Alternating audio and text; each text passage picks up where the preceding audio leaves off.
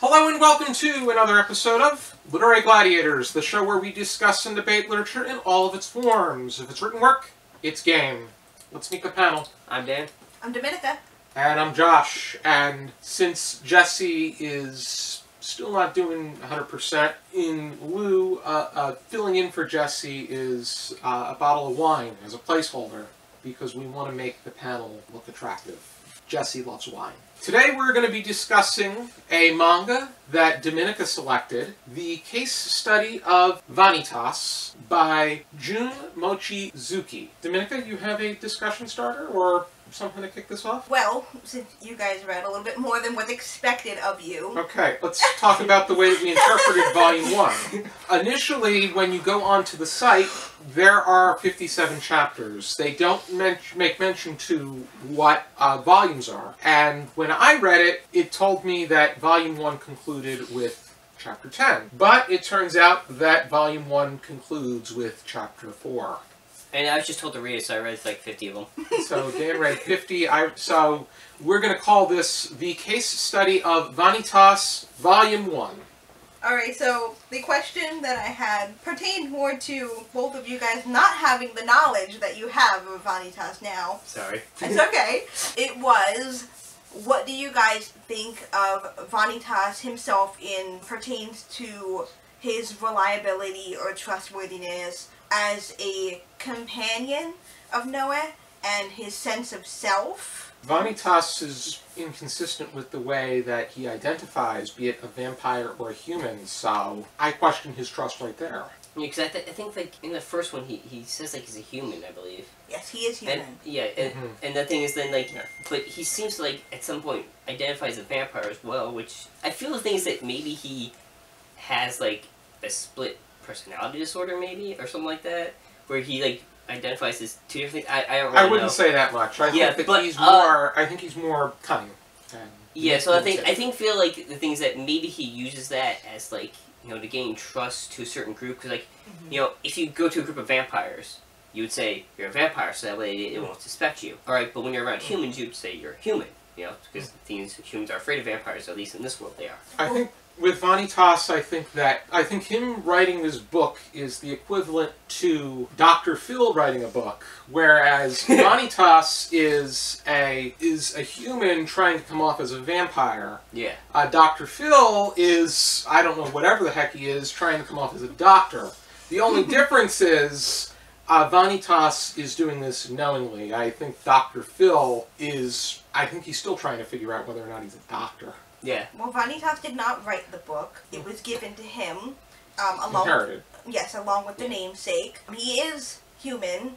The book belonged to the Vampire of the Blue Moon. vampire of the blue moon Yes, Mhm. who he gave him the book, and he himself is determining how to use the book for his own, I guess you could say, gain, because it is supposed to be used to harm, but he is using it to heal. Mhm. yeah, Um, he's but the- basically curing vampires I He think like a is, cur- he is curing them. He Mhm. is. Um, most people think that the book is what makes curse bearers, so they're afraid of him. So he won't tell them, you know, this is what the book is used for. He'll just, and he won't even say his name. He'll just, you know, open it up and then begin to use it, and then he will heal them. So everyone's afraid of the book and of him, but the part of Vanitas himself that really interested me in the beginning was his motivation mm. behind why would he insist that he is doing such a good thing for everybody but not give them a choice about it. I'm doing I'm going to save all of you and I don't care what you say about it. In a way, that's a bit Luciferian in a way, where it's taking away that uh, free will option.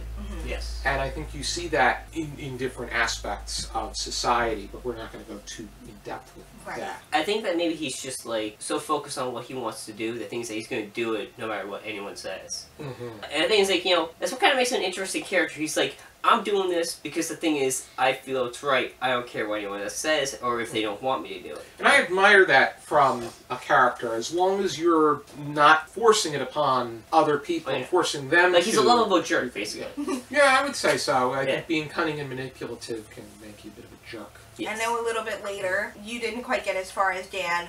I did not read as much as Dan, but I have seen more of the anime. Um, you do see another side of him that kind of explains why he is the way that he is. Oh yeah. And the same with Noah, why he went with Vanitas in the beginning in the first place, why he was so desperate to help Amelia when she was discovered as a curse bearer hmm yeah. with Louis and everything that happened in the past with him. I him. think that that is being able to help people out of uh, a terrible circumstance, as long as they want to be helped out of that circumstance, is uh, a, a nice deed. Uh, Yeah. Or a good motive. The character that I liked in here is uh, Noah. No way. because uh, I wouldn't want to say relatable because everybody has a different train of thought. I think he's he's very simple. He's very I wouldn't say I think he's he what you see is what you get from him. He's perfectly as ironic as it is, he's perfectly human even though he's a vampire. I do find him kind of funny too. And like, yeah, he, he, I, I he's like, how It's like they, they tell him like put the girl down. He's like, no. Yeah, and I like how he resists things that may tough choices to him come off. He can feel that these are tough choices for him. I like the difference between Vanitas and Noah in their approach to how they solve problems. Mhm. Noah is more the type where he likes to sit down and talk about it, and Vanitas will just kind of go straight in and say what he wants to say and do what he wants to do. Yeah, one's like just straight to the point. One's like, Mhm. let's think about how we're gonna get to that point. And I do also like how whenever they have to travel somewhere, Noah has no problem just picking Vanitas up and carrying him in his arm as he runs across the Paris rooftops. And Vanitas doesn't care, and he doesn't. He'll just get thrown. Like, oh, you need Hmm. that person. You want That's me to stop him? Okay, and I'm gonna throw you to do it. That's a very the, the, the visuals are very beautiful. They are. She's a very Yeah. amazing mangaka. I, lo- I love the steampunk aesthetic to it. Yes. I know that there's that one image at the very beginning. Uh, reminds me of the invention of uh, Dr. Hugo and that whole idea of being in that Paris setting Right. and the advanced, for them, advanced technology. Even though this setting is a little bit, I'm not, uh, I'm not sure the setting from I know our we don't really time. have airships. I think he's in the 1800s. Okay. Yeah, then it is pretty in yeah, it's line like 19th with century, Mm. which is like what steampunk usually Right. takes place in. Pretty uh, in line with uh, invention of Dr. Hugo and the uh, because it, it aligned with the uh, the film of Voyage uh, Voyage to the Moon, which is from 1902. I thought that the character of uh, Dominique, uh, we're getting a little bit beyond this particular book. I thought Dominique was a very likable character once you uh, got to know her more because of her sense of uh, empathy, the way that she interacted with uh, Noe.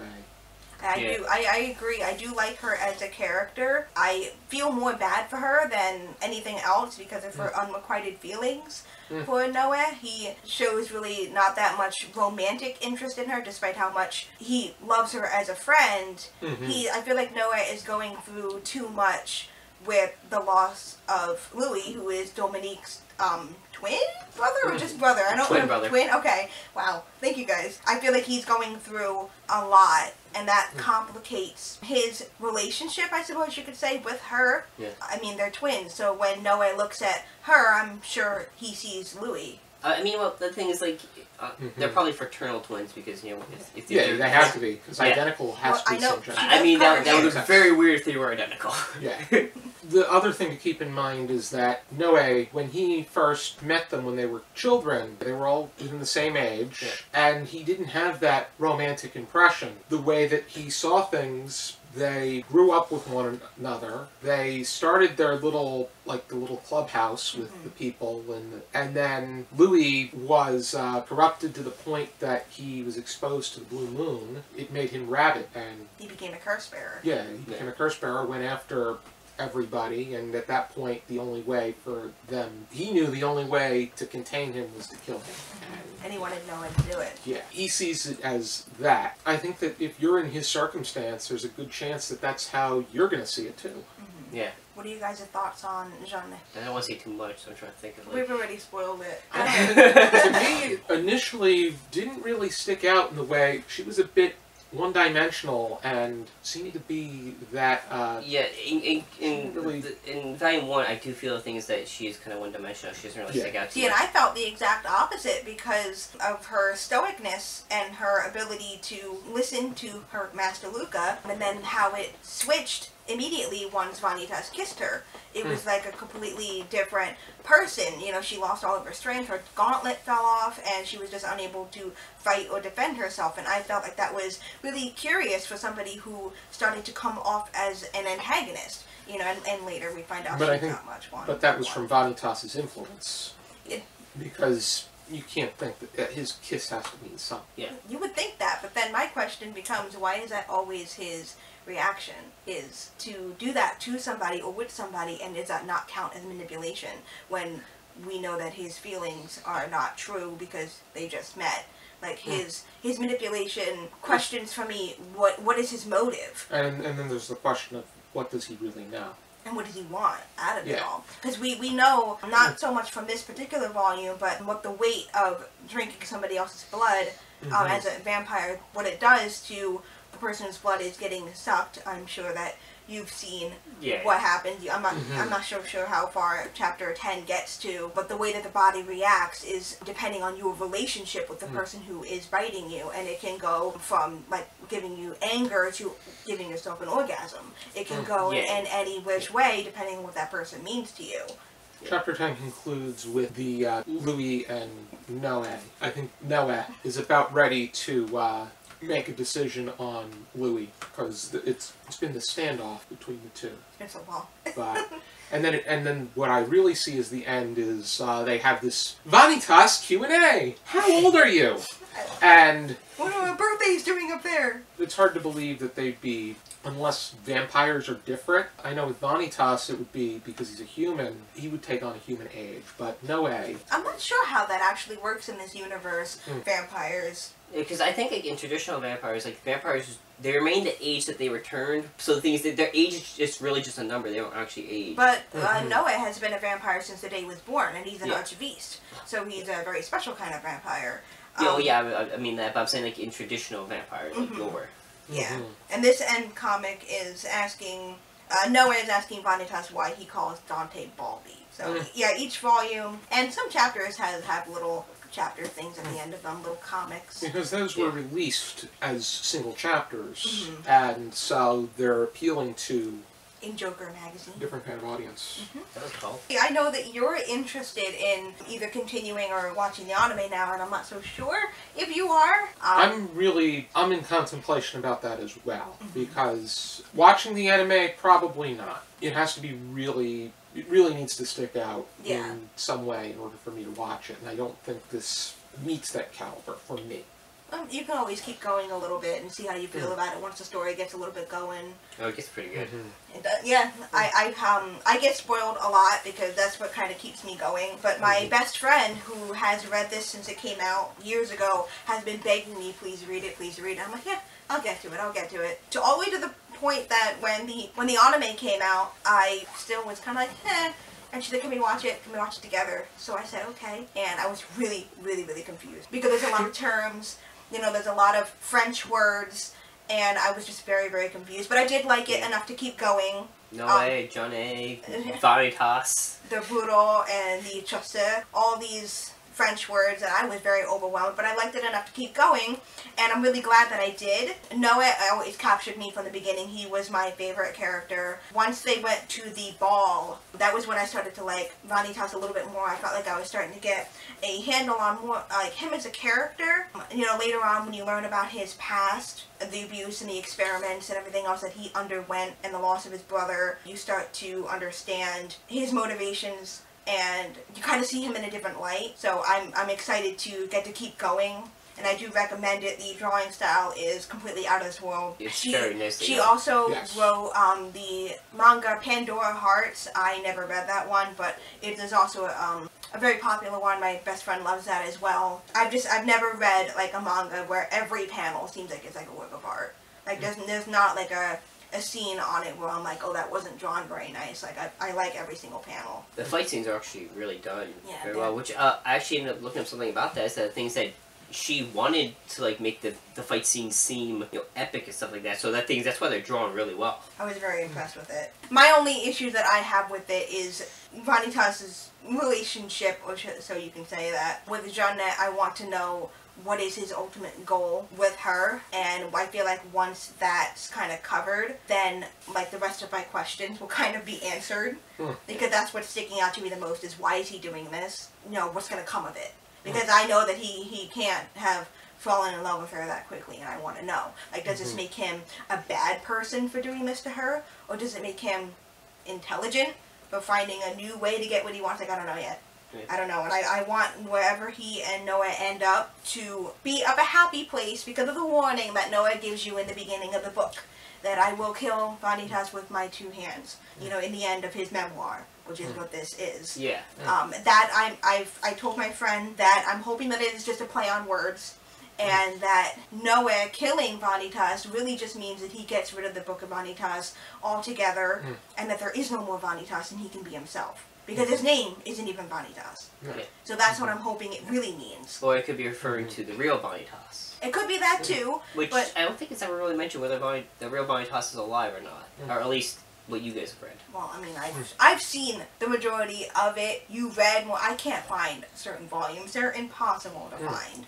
Yeah. Um, but that's that's what I'm looking forward to the most is seeing how it ends because Mm. Pandora Hearts ends in tragedy. So I don't want this to be tragedy. And hope, hopefully, discussions like this bring attention to re-releasing or putting out the uh, volumes that Yeah. are more and more impossible to find. Yeah. Yeah, because I- uh, was it like uh, there's there's a manga I was reading. Uh, I know it's a bit off topic, but uh, there's a manga I was reading where the thing is like the eighth volume was never released in Amer- America. So I read the first seven volumes in English, but I can't. That the eighth volume is only in Japanese. I can't read it. no, they're out there. They're just impossible to find because everybody keeps buying them off the shelves. Yeah. You know, I go to Barnes and Noble and they only have volume eight, and Mm. that's it. And then you know they have volumes maybe one or two. And Mm. I need You, three or four. I think you have to go beyond the brick and mortar Barnes and Noble. I've Yeah. tried. I think that's that's, that's, that's where Everywhere. online really helps with, like, Yeah. especially manga and stuff like that. Like I Mhm. I have very few physical like mangas, and the majority of mangas I read have always been Mhm. online. I think it's a bit easier. I mean, for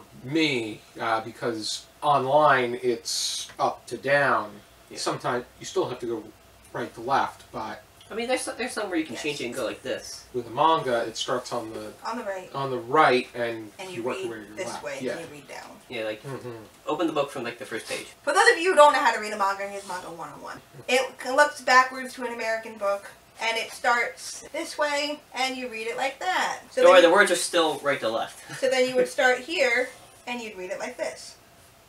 Down like that. Instead of the traditional American comic way. hmm And that's because in, in Japanese, in Japan, I'm sorry, they still keep the traditional writing where they write down as opposed to across. Usually in manga. What I wanted to say is like the vampires in this world, uh, which gets revealed later on in the chapters. The thing is that there's actually different types of vampires. The Mhm. thing is, there's the Red Moon vampires, which are seen as kind of like the more traditional violent vampires that we've kind of come to know. And then there's the Blue Moon vampires, which is like Vanitas and uh, guess I could say no way, but I, I don't really know. Misha, right?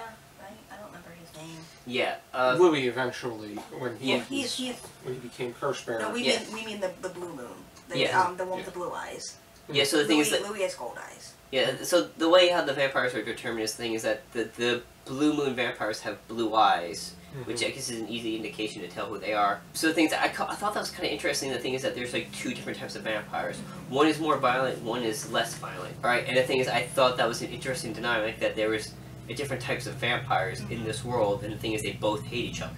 I'm glad that you know Noah doesn't hate Vanitas or or vice versa. Yeah. I find it interesting that um a lot of the chasseurs think that it's interesting how a vampire and a human such as Vanitas and Noe can get along as well as they do and let alone be friends Mm. because they've just never seen or heard of vampire and human being able to do that. When they see them laughing and fighting alongside one another as like a well-oiled machine they're like what is happening? Roland is just fascinated by it. Hmm. And i find that interesting too. Yeah, so like, I, I kind of thought that was kind of interesting that there's two different clans of vampires. I kind of like that dynamic. I just wish the things that there was more blue moon vampires because we mostly see red moon instead of uh, the blue moon. Maybe we will. I think I, I I, mean, I I know like, there's a few that we know of, but I, like, I there's agree not with many. that. I think that having different kinds, I think that that adds a different, di- uh, uh, an additional dimension to Yeah. we think we're somewhat familiar with. Yeah, 'cause and like- that we think all vampires are the same. Humans are different. Uh, different species of animals are different. Yeah.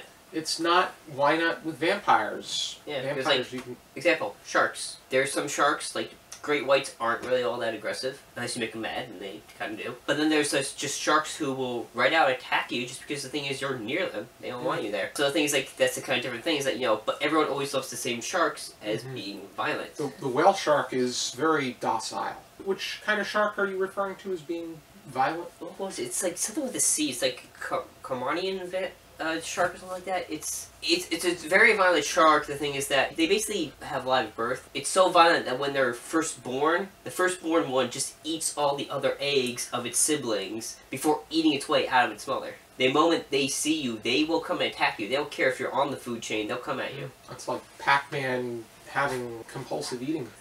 yeah. Uh, trust me, I would not want to be near that shark. Anything else? Uh, do you want to bring anything else up, Dominica? I'm not sure. That might have covered all of it. Do we have any final thoughts then? Uh, read it. I like it a lot. I'm excited to keep going. I prefer reading Hmm. the physical copy of it rather than online. Sometimes because of translation issues, um, Hmm. I prefer to read the official release. Um, and I do recommend, like, if you are a Japanese anime watcher only, to definitely check out the English version of it because the performances are really amazing. I love how they throw in the French words. It just gives it more authenticity. Mm. Makes it feel like it actually takes place in France, which I feel is very unique. You know, the anime was a different story. It took me a little bit to get into that, but once I started to read the manga, I was hooked within the first chapter, and that doesn't really happen a lot with me, especially with manga. But the drawing Yeah. style is really, really beautiful with the lighting and all of her official arts. There, it I don't know how long it takes her to draw these, but it, it looks like it would take her, you know, 20 hours to do each official, you know, drawing, but it probably doesn't. But that's just how good they are, in my opinion. I think that it got better as it progressed. I, I think that it was uh, a bit of a challenge to get into, but as it flowed and you knew who everybody was and what everybody was like, I feel that it was pretty good. Yeah, there's a lot of lot to get used to, a lot of names, a big cast, Yeah. um, a kind of a big world, and the dynamic of how things work and what's acceptable and what's not acceptable. You know, it Mhm. takes a little bit to get used to, but like because I've seen a lot of the anime and I've read a bit further on the manga, it was so much easier to follow when I reread it. You know, a couple of hours ago before this discussion, everything just made so much more sense. So definitely, it gets easier to understand the more you read it. And Mhm. if you have a problem with French names, the thing is, don't worry, I had the same problem too. I just found out today it was called Vanitas and not uh, Vanitas. Vanitas. Vanitas. I know everyone. everyone said it that way before the official translation came out. Mhm. Yeah, so like things that was that was that was kind of like so Vanitas, not Vanitas. Yes, which is also, as we discussed before we did this, um, a genre of visual art, like a painting style. It's actually really interesting. Um, kind of symbolic when you think of uh, Vanitas himself. So if you don't know what that is, go ahead and look it up. You might learn something cool. Alrighty then, how would we rate this? Zero to five stars, half stars permitted. Dan? Four and a half. I, I like the art style, I like the action. Plus, it's got like steampunk and vampires, two things I love. Plus, as I mentioned earlier, things that the separate types of vampires, and the thing is like the way the story's told. Four and a half. So good. I like it. Um, I'm also going to go with the four and a half, but the only reason for me why it's not bumped up to a five is because it's not over, um, and there's a lot of unanswered questions that I have. If you know one day when it is finished and we you know we go over it again, the ending of it will decide for me whether or not mm. it either stays at four and a half, goes down to four, or goes up to a five. So I Well, that's, have that's the reason why I Yeah, didn't give it a five. there- I can't give it a five yet because it could turn into the classic Japanese trope where you know one of the characters kills the other one and but they live happily ever after. Like oops, like oh well, time to move on. Like I don't like that trope. So the ending will decide how I feel about it. Yeah, it could go on for really long, like Mhm. One Piece. But so far, you know, four and a half. I really like a lot of elements. I like the characterizations. Um, they're very unique, and I am excited to see where our two protagonists and their friendship go. Mm, I'm gonna go three. Right I not yet, not as much as uh, I'm not as amazed as much as Dan and Dominica. Uh, Well, I'm a big anime fan, so. I think it was a uh, pretty plotty to begin with D's, not T's, and I think that it took a while to really begin to meld and get where the uh, get to see where Vin, uh, Vanitas and Noe. It took a little bit of time to really And it did for me too. It Uh, did for me. warm up to the piece at hand. It started to uh, progress uh, toward the end of what I saw as Volume One. I still feel that there was uh, th- there's still more that I want Well, don't worry, I'll pick it within again. a piece like this. I'll pick the next one. Mhm. and then we can go over the next part. And then we all force you to And tell me how many I'm actually supposed to read. I will. Yeah, I should have told them that, but I'll force you to read it. And we'll see how they define Volume Two Probably up to chapter 8. We'll see. I don't remember. already. I, I think that, granted, with that, I would think that nine or ten left off on a pretty good. I think both of them left on pretty good cliffhangers. If you want to check out a case study of Vanitas, uh, here is a copy right here. Uh, this includes chapters one to four. We interpreted Volume One in all different ways. Very loosely. Yes. I would, I would continue going as far as I did and possibly reading the ones I have not gotten to. Because as of recording this, it is still currently being made. I think there's like chapters are still coming out. 57 chapters, I believe. Alrighty then, be sure to join us next time on another episode of Literary Gladiators. For now, keep reading. Hi there, this is Josh, and on the general discussion series finale of Literary Gladiators, we will be discussing I Know Why the Cage Bird Sings by Maya Angelou. Uh, we will be concluding 14 terrific seasons and 410 amazing discussions. And if you like what you see on this channel, please support us on our Patreon because we are not going away entirely. Uh, we will still be doing casual free for all videos and we will still be releasing individual content. Thank you for your ongoing support for this channel and be sure to join us for the general discussion series finale. Keep reading.